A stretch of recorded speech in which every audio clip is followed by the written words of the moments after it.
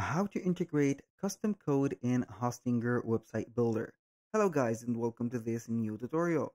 In today's video, I'm going to show you how you can integrate a custom code such as having a design from Canva integrated into your Hostinger website or a widget from Elfsight or also a form from JotForm or Google Forms. It is going to be the same thing into the same website. So the process is going to be very simple and easy we're going to head over hostinger.com, sign in for an account, and then we are going to see the dashboard or the H panel of our account. Basically, we're going to have or head over the websites, click on websites list, and then we are going to have the websites uh, that we have created or we own.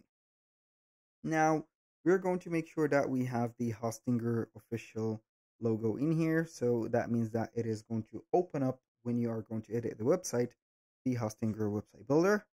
Click on edit website. Now we are going to wait for the website to load up.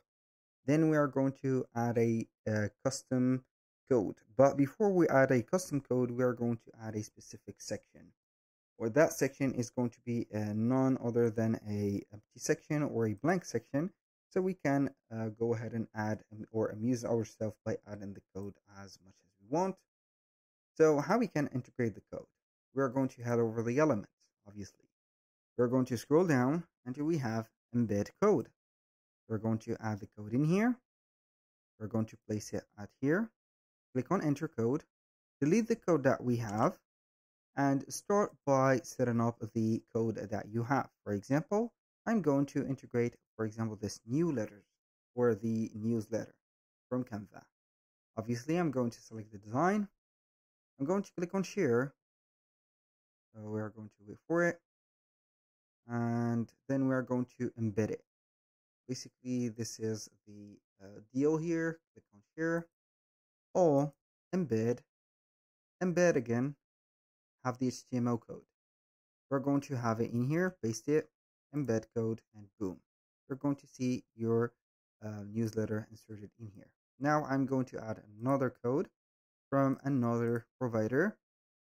Scroll down, embed code, boom, enter code, delete that code that we have, and we are going to head over this time Elfsight.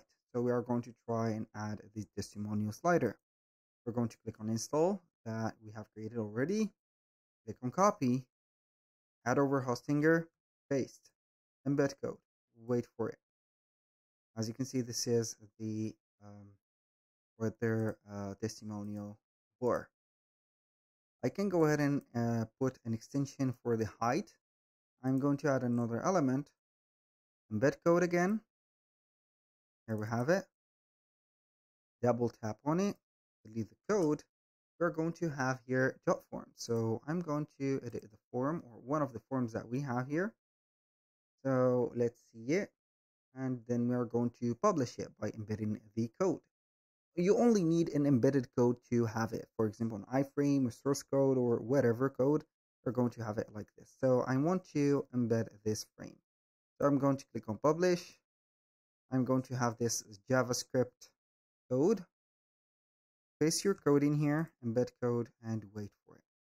So it will take a little bit of time maybe, and then at the end of the operation, we're going to see your code here. That was all for today's video. Thank you guys for watching. I hope that you have enjoyed the content and I hope to see you soon on the next one.